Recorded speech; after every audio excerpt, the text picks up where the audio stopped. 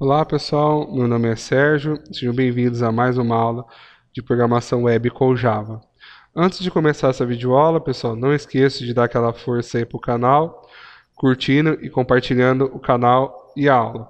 Dando finalidade à nossa tela de venda, lembra que nós paramos na parte referente à venda, só que ele não limpava a tela. Então deixa eu mostrar para vocês aqui.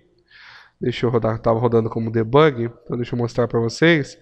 Então eu venho aqui, adiciono alguns produtos, mando finalizar, escolho o funcionário, escolho o cliente, salvo, mas ainda o carrinho de compra fica preenchido, aqui fica preenchido, ou seja, eu deveria fazer uma limpeza nessa tela.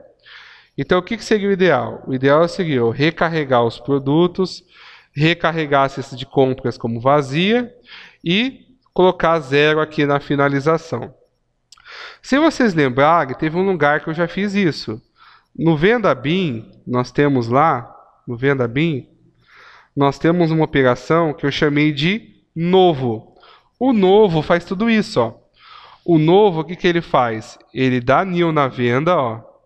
Ele dá new na venda. Ele seta o preço total para zero. Ele seta o horário, se bem que o horário, na verdade, nem vai precisar aqui, né? O horário a gente está setando depois, pode até apagar se quiser, não vai precisar do horário. Aí, o que, que ele faz? Ele vai lá e recarrega a listagem de produtos e recarrega a listagem de itens. Então, o que, que eu posso fazer? Eu posso pegar essas cinco linhas aqui, copiar e colar ela lá no salvar, ou eu simplesmente chamo o método novo lá. Para ganhar um pouco de tempo, vamos chamar um método novo lá. Então, basta vir aqui agora no salvar. Depois que você chamou salvar, o que, que você faz? Você vem aqui e chama um método novo. Ou, se você preferir, você vem aqui e chama, você pode vir aqui se você achar melhor. Outra solução, você pode vir aqui, copia e cola essas cinco linhas lá. Fica a seu critério qual você quer seguir. As duas soluções trazem a mesma resposta. Então aqui ele zera o valor total, aqui ele recarrega a listagem de produtos e aqui ele recarrega o data table. Vamos ver se vai dar certo. Lembra que sempre que a gente quer recarregar as coisas, eu tenho que trabalhar com JavaScript, usando Ajax. Então vamos ver se o nosso Ajax está correto. Então, Vamos ver ele. Deixa ele carregar a tela aqui.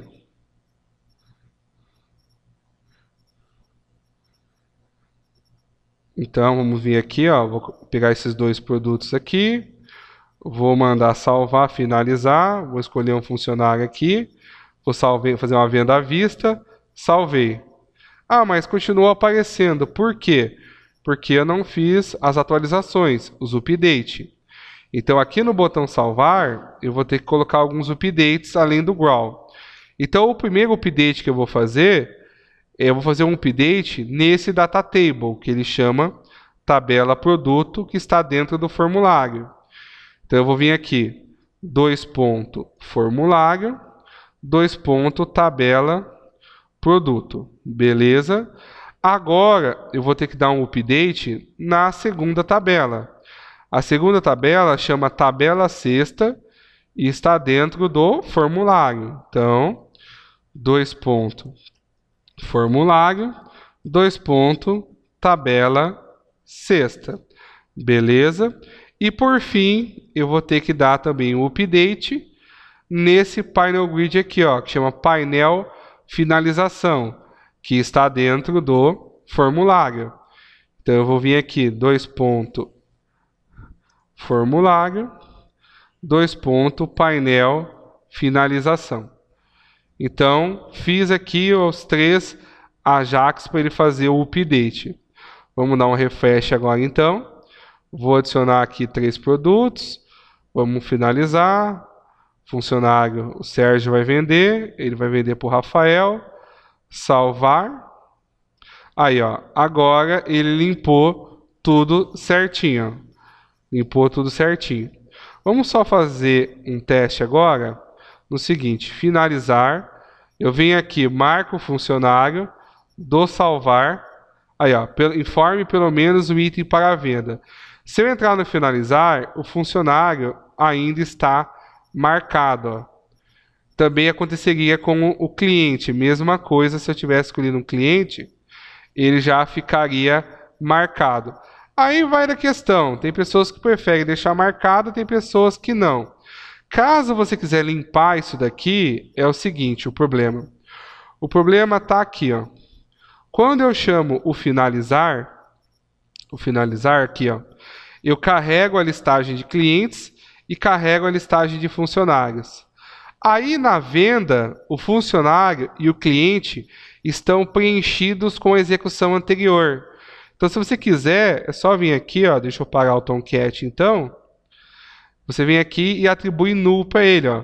Venda.set cliente, null, para limpar o cliente. Venda.set funcionário, para limpar o funcionário. Fica a seu critério também. Agora eu vou rodar para vocês verem. Dando certo isso aqui, pessoal, a gente fecha a nossa tela de vendas. Lógico, tem coisas que poderia melhorar, poderia deixar mais profissional, mas acho que para um exemplo acadêmico tá perfeito. Perto de uns exemplos aí que eu já vi na internet, acho que está até legalzinho, está satisfatório o que nós fizemos. Então eu vou vir aqui, ó, vou adicionar, por exemplo, opa, vou vir aqui, finalizar, vou marcar o funcionário, vou marcar o cliente, salvei, deu problema. Finalizar. Aí, ó, agora está nulo. Ó. Então, beleza, agora está certinho. Ó. Com isso, pessoal, a gente fecha a nossa tela de vendas e fecha boa parte da nossa aplicação. Agora, referente a Prime Faces, eu fico devendo para vocês algumas coisas estéticas.